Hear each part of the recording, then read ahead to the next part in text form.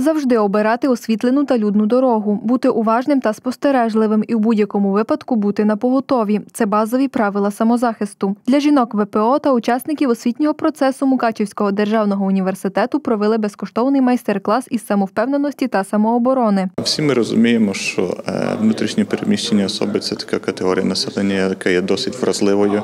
Вона вразливою і матеріально, тому що люди втратили все, але в першу чергу це люди, які вразливі е, психологічно. Тобто їм потрібна психологічна підтримка, їм потрібно розвивати в собі впевненість.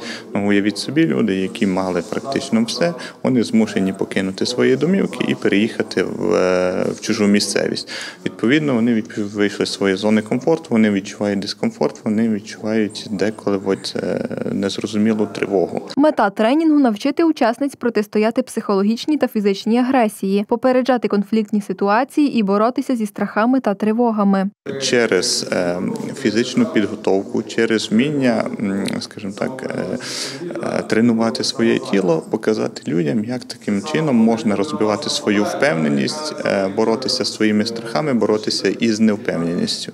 В першу чергу, відповідно, ми розуміємо, що за одне тренування яких фізичних результатів великих добитися не можна, але можливо дати людям той напрямок, як розвиватися. Крім теорії, на занятті також відпрацьовували і практичні вправи. Усі вправи учасникам тренінгу демонстрував Володимир Голуб, військовослужбовець та майстер спорту міжнародного класу. Тренер зазначає, важливо відпрацювати не лише прийоми, а й плідно попрацювати над поведінкою.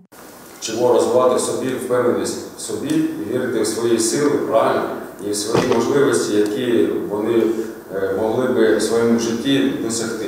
Да, благодаря чому? Це благодаря, е, може бути, спорту, да, якійсь там маленькій психології, яка е, насправді не маленька, а є важливою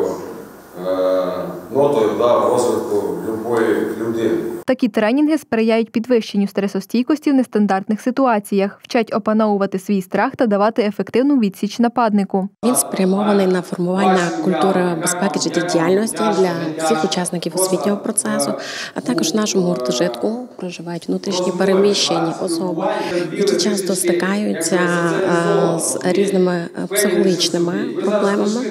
Тому е, головною темою цього заходу ми обрали тему самозахисту, а також психологічної підтримки жінок. На сьогодні це дуже актуально, адже в реаліях та умовах сьогодення, на жаль, наші жінки зобов'язані знати певні навички, аби захищати та захистити себе. Організував безкоштовний майстер-клас для жінок благодійний фонд Місія здоров'я.